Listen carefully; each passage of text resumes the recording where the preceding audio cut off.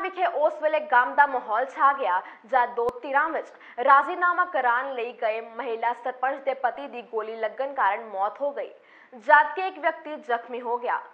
ਸਰਪੰਚ ਦਾ ਪਤੀ ਸੁਖਜਿੰਦਰ ਸਿੰਘ, ਜਦ ਇੰਦਰਜੀਤ ਸਿੰਘ ਅਤੇ ਗੁਰਵਿੰਦਰ ਸਿੰਘ ਚ ਹੋਏ ਝਗੜੇ ਦਾ ਰਾਜ਼ੀਨਾਮਾ ਕਰਾਉਣ ਜਾ ਰਹੇ ਸਨ, ਤਾਂ ਬਲਵਿੰਦਰ ਸਿੰਘ ਨੇ ਗੋਲੀਆਂ ਚਲਾ ਦਿੱਤੀਆਂ, ਜਿਸ ਕਾਰਨ ਸੁਖਜਿੰਦਰ ਸਿੰਘ ਦੀ ਮੌਤ ਹੋ ਗਈ ਜਦਕਿ ਇੱਕ ਹੋਰ ਵਿਅਕਤੀ ਜ਼ਖਮੀ ਹੋ ਗਿਆ। ਥਾਣਾ ਜਨਾਲਾ ਦੇ ਐਸਐਚਓ ਅਮਨਦੀਪ ਸਿੰਘ ਨੇ ਆਖਿਆ ਕਿ ਪੁਲਿਸ ਨੇ ਮਾਮਲਾ ਦਰਜ ਕਰ ਕਾਰਵਾਈ ਸ਼ੁਰੂ ਕਰ ਦਿੱਤੀ ਹੈ ਨਾਮ ਸਰਦਾਰ ਸੁਖਵਿੰਦਰ ਸਿੰਘ ਆ, ਸਰਪੰਚ ਪਿੰਡ ਦੇ ਪਿੰਡ ਝਗੜਾ ਹੋਇਆ ਕਿਸੇ ਦਾ ਅਸੀਂ ਰਾਜੀਨਾਮਾ ਕਰਾਉਣ ਗਏ ਮੈਂ ਤੇ ਡੈਡੀ ਉਹਨਾਂ ਦਾ ਫੋਨ ਆਇਆ ਵੀ ਇਦਾਂ ਸਾਡਾ ਝਗੜਾ ਹੋਇਆ ਆਓ ਅਸੀਂ ਗਏ ਆ ਪਿੰਡ ਉਹਨਾਂ ਦੇ ਘਰੇ ਗਏ ਆ ਤੇ ਉਹ ਉਹ ਜਾ ਕੇ ਸਾਨੂੰ ਵੇਖਦਾ ਸਾਰ ਲਲਕਾਰੇ ਡਾ ਪਏ ਮਾਰਨ। ਉਹਨਾਂ ਸਾਡੇ ਪਾਪਾ ਫਾਦਰ ਸਾਹਿਬ ਨਾਲ ਇੱਕ ਉਹਨਾਂ ਦਾ ਪ੍ਰਾਹੁਣਾ ਆਇਆ ਘਰੇ ਇੱਕ ਉਹ ਆਏ। ਅੱਛਾ।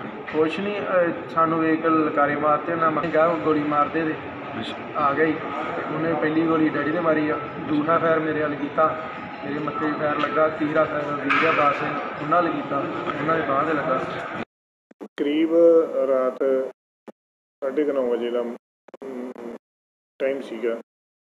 ਕਿ ਇੱਕ ਇਨਫੋਰਮੇਸ਼ਨ ਆਈ ਕਿ ਸੁਖਵਿੰਦਰ ਸਿੰਘ, ਪੁੱਤਰ ਰਘਬੀਰ ਸਿੰਘ, ਪਿੰਡ ਵੰਜਾਂ ਵਾਲਾ ਦੀ ਲੜਾਈ ਦੌਰਾਨ ਗੋਲੀ ਲੱਗੀ ਹੈ, ਜੋ ਅਸੀਂ ਉੱਥੇ ਮੌਕੇ ਤੇ ਗਏ ਨੇ।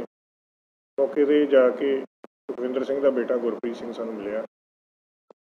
ਗੁਰਪ੍ਰੀਤ ਗੁਰਪ੍ਰੀਤ ਸਿੰਘ ਨੇ ਸਾਨੂੰ ਜੋ ਆਪਣਾ ਬਿਆਨ ਤਹਿਰੀਰ ਕਰਾਇਆ ਕਿ ਉਹਨਾਂ ਨੂੰ, ਇਹ ਪਿਤਾ ਨੂੰ ਸਾਡੇ ਪਿੰਡ ਦੇ ਗੁਰਬਾਜ ਸਿੰਘ, ਪੁੱਤਰ ਬਲਬੀਰ ਸਿੰਘ ਦਾ ਫੋਨ ਆਇਆ। ਕਿ ਉਹਨਾਂ ਦੀ ਬਲਵਿੰਦਰ ਸਿੰਘ, ਪੁੱਤਰ ਬਲਵੰਤ ਸਿੰਘ ਹੋਣਾ ਨਾਲ ਲੜਾਈ ਹੋ ਗਈ ਹੈ ਤੇ ਆਣ ਕੇ ਸਾਡਾ ਫੈਸਲਾ ਕਰਾਓ। ਜਿਸ ਤੇ ਮੈਂ ਤੇ ਮੇਰਾ ਪਿਤਾ ਐਕਟਿਵਾ ਤੇ ਸਵਾਰ ਹੋ ਕੇ ਉਹਨਾਂ ਦੇ ਘਰਾਂ, ਬ- ਗੁਰਬਾਜ ਸਿੰਘ ਦੇ ਘਰ ਗਏ।